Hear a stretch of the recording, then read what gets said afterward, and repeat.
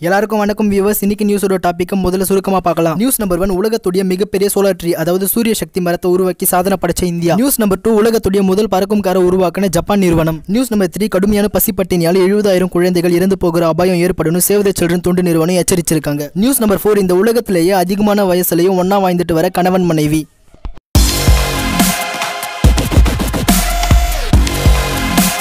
இப்போ எல்லா நியூஸை பற்றியும் கொஞ்சம் விரிவாக பார்க்கலாம். நியூஸ் நம்பர் ஒன் துர்காபுருன்ற இடத்துல மத்திய இயந்திர பொறியியல் ஆராய்ச்சி கழகத்தோட குடியிருப்பு பகுதியில் ஒரு வருஷத்துக்கு பதினஞ்சாயிரம் யூனிட் கரண்ட்டை உற்பத்தி பண்ணுற சோலார் ட்ரீயை இந்தியா உருவாக்கி இருக்கு. இது உலகத்துடைய மிகப்பெரிய சோலார் ட்ரீ இடம். ஒவ்வொரு மரத்திலும் முப்பத்தஞ்சு சோலார் பேனல்கள் இருக்கும் அதில் இருக்கிற ஒவ்வொரு சோலார் பேனலையும் அதிகபட்ச சோலார் எனர்ஜியை எடுத்துக்க முடியுமா? இந்த இடத்துல இருக்கிற ஒவ்வொரு சோலார் மரத்துடைய மதிப்பு ஏழரை லட்சம் ரூபாய். இந்த சோலார் மரங்களால நல்ல பொருளாதார வளர்ச்சியை அடைய முடியும்னு விவசாயத்தை பாதுகாக்க முடியும்னு மற்ற சின்ன தொழில்களுக்கு உதவி செய்ய முடியும்னு சொல்லியிருக்காங்க. இந்த பயன்பாட்டை பிரதமருடைய கிஷான் உர்ஜா சுரஷா ஏவன் உத்தான் பகப்யான்ற திட்டத்தில் இணைச்சு பயன்படுத்திக்கலாமா? இதன் மூலியமா எனர்ஜி சோர்சஸ்ல கார்பன் இல்லாத நாடா இந்தியாவை உருவாக்க முடியும்? ஏற்கனவே தொடர்ந்து சாதனை மேல சாதனை பண்ணிட்டு இருக்கிற இந்தியாவால இதை விட பெரிய சாதனையை கூட பண்ண முடியும் தானே வியூவர்ஸ் நியூஸ் நம்பர் டூ உலகத்தோட முதல் பறக்கும் காரை உருவாக்கி உலகத்தை திரும்பி பார்க்க வச்சிருக்காங்க ஜப்பானுடைய ஸ்கை டிரைவ் நிறுவனம். உலக புகை டொயோட்டா நிறுவனத்தின் ஆதரவோடு இந்த அசாத்திய முயற்சியை வெற்றிகரமா சாதிச்சிட்டாங்க ஸ்கை டிரைவ் நிறுவனம். இந்த பறக்கும் காருக்கு எஸ்டி ஜீரோ த்ரீனு பெயர் வச்சிருக்காங்க. ஜப்பானிய வரலாறுல சோதனை மேற்கொண்ட முதல் பறக்கும் கார் இது. ஜப்பான் நாட்டு பைலட் டிரைவர் அங்க சுத்தி இருந்த வயல்கள்ல நாலு நிமிஷம் அந்த பறக்கும் காரை ரொம்ப பாதுகாப்பா ஓட்டி காட்டினாரு. இந்த பறக்கும் காரை செம்மையா டேக் ஆஃப் பண்ணி தரையிறங்க வைக்க முடியும். பறக்கும் தன்மை கொண்ட இந்த எஸ்டி ஜீரோ த்ரீ காரை அவசர காலத்துல பயன்படுத்தும் போது பாதுகாப்பை உறுதிப்படுத்திக்க எட்டு மோட்டார்களை இந்த பறக்கும் கார்ல செட் பண்ணிருக்காங்களா முழுசா சோதனை பண்ணி முடிச்சு ரெண்டாயிரத்தி இருபத்தி மூணாம் ஆண்டுல இந்த கார் விற்பனைக்கு வரும்னு எதிர்பார்க்கறாங்க. காருடைய விலை எவ்வளவுன்னு குறிப்பிடல ஆனா நூறுக்கும் மேற்பட்ட நிறுவனங்கள் பறக்கும் காரை தயாரிக்கிற வேலையில ஈடுபட்டு இருக்கிறதா சொல்றாங்க. இதன் மூலியமா விஞ்ஞானத்தோட படைப்புகளும் கண்டுபிடிப்புகளும் உச்சக்கட்டத்தை நோக்கி முன்னேறிட்டு இருக்கிறது நம்மளால உணர முடியுது தானே வியூவர்ஸ் நியூஸ் நம்பர் த்ரீ இந்த நியூஸ் உண்மையாவே கவலைப்பட வேண்டிய விஷயம் வியூவர்ஸ் சப்சஹாரா ஆப்பிரிக்க பகுதிகளில் கிட்டத்தட்ட எழுபதாயிரம் குழந்தைகளுக்கும் மேற்பட்டவங்க கடுமையான பசிப்பட்டினியால் இறந்து போகிற அபாயம் ஏற்பட வாய்ப்பு இருக்கிறதா? சேவ் த சில்ட்ரன் சொல்லப்படுற தொண்டு நிறுவனம் எச்சரிச்சிருக்காங்க. ஆப்பிரிக்காவோட அந்த குறிப்பிட்ட பகுதிகளில் ஊட்டச்சத்து குறைபாடால் பாதிக்கப்பட்ட பல எண்ணிக்கையிலான குழந்தைகள் மருத்துவமனையில் சிகிச்சை பெற்று வரதா சேவ் த சில்ட்ரன் தொண்டு நிறுவனம் குறிப்பிடுறாங்க. கொரோனா ஊரடங்கு காரணத்தினாலையும் பொருட்களுடைய விலை உயர்வு காரணத்தினாலையும் அந்த பகுதி மக்களுடைய பொருளாதார வாழ்க்கை சரிவை சந்திச்சிருக்கிறதையும் பசியால பலாயிரம் குழந்தைகள் தவிச்சிட்டு இருக்கிறதையும்